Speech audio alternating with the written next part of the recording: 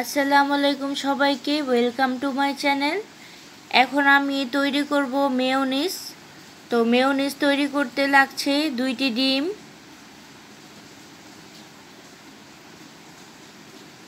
এক কাপ পরিমাণ সয়াবিন তেল, চিনি, গুঁড়া দুধ, লবণ আর সিরকা।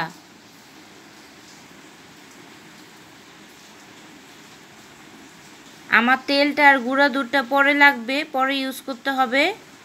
প্রথমে দিয়ে দিচ্ছি চিনি।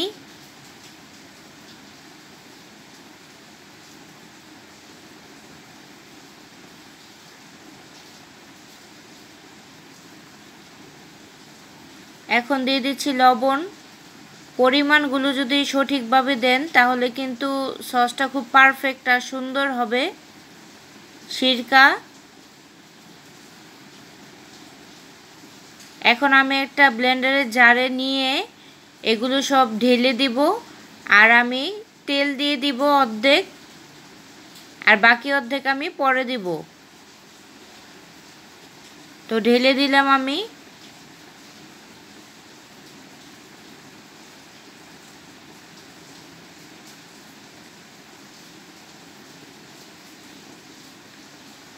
এখন দিয়ে দিব তেল, সয়াবিন তেল।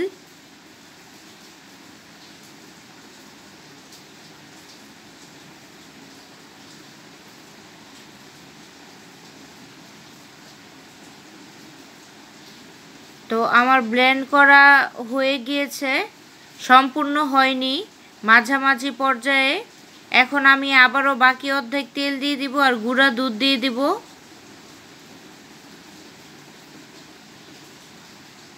এখনও কিন্তু পাতলা আছে। আমি সম্পূর্ণ তেলটাই দিয়ে দিলাম এখন। আর এই পর্যায়ে সে গুঁড়া দুধটা ইউজ করতে হবে। তাহলে থিকনেস চলে আসবে।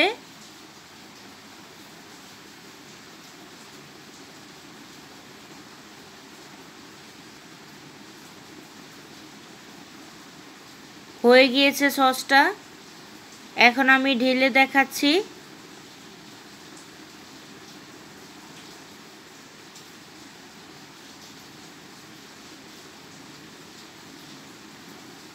এখন যতটা ঘন দেখতে পাচ্ছেন, একটু পাতলাই হয়েছে, বেশি ঘন হয়নি। এটা যখন আমি ফ্রিজে রেখে দেব, ফ্রিজে রাখার পর আরও বেশি ঘন হয়ে যাবে।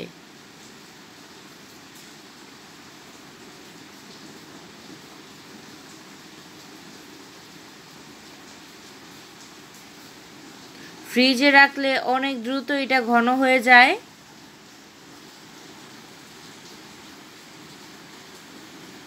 আমি এখন আরেকটা সস তৈরি দেখাবো।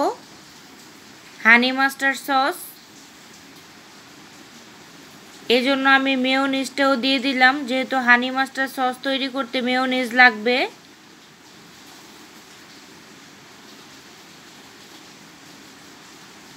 তো তৈরি হয়ে গেছে আমার মেয়োনিজ এভাবে আপনারা তৈরি করবেন। দেখবেন অনেক সুন্দর হয়েছে। এখন আমি দ্বিতীয় স্টেপে চলে গেলাম। এখন আমি হানি মাছটা সসটা তৈরি করব। এখানে আমি মেয়োনিজ নিয়েছি।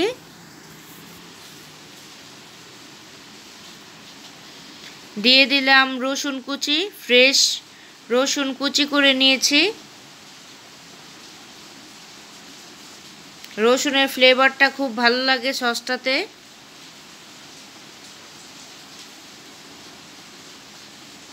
গোলমরিচের গুঁড়া। আমি এখানে কালো গোলমরিচ নিয়েছি। দিয়ে দিলাম টমেটো কেচাপ।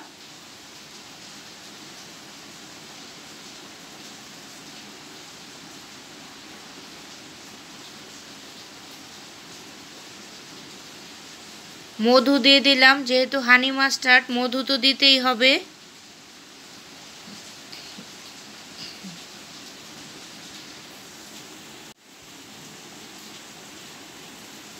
এখন দিয়ে দিলাম সরিষা পাউডার, বাটার চেয়ে পাউডারটা খুব ভালো, কালারটা সুন্দর হয়। এখন ভালো মতো নেড়ে চেড়ে মিশিয়ে নেব। মেশালে হলুদ কালারটা চলে আসবে আস্তে আস্তে। যেহেতু এখানে সরিষা ইউজ করেছি এখন ভালো মতো মিশিয়ে নিয়েই হয়ে গেল হানি মাস্টার সস সসটা খেতে তো অসম্ভব মজা। আপনারা অবশ্যই অবশ্যই ট্রাই করবেন। আমাকে কমেন্ট বক্সে জানাবেন কেমন হয়েছে। আর আমার চ্যানেলটি যদি আপনাদের কাছে ভালো লাগে, আপনারা সাবস্ক্রাইব করবেন। পাশে থাকা বেল আইকনটি ক্লিক করে দিবেন। পরবর্তী ভিডিও দেখার জন্য। ভালো থাকবেন সবাই। আমার জন্য দোয়া করবেন। আমি যেন আরও ভালো ভালো রেসিপি আপনাদের কাছে নিয়ে আসতে পারি। তো আজ এই পর্যন্তই। আল্লাহ আপনাদের সবাইকে সুস্থ রাখুক। আল্লাহ হাফিজ।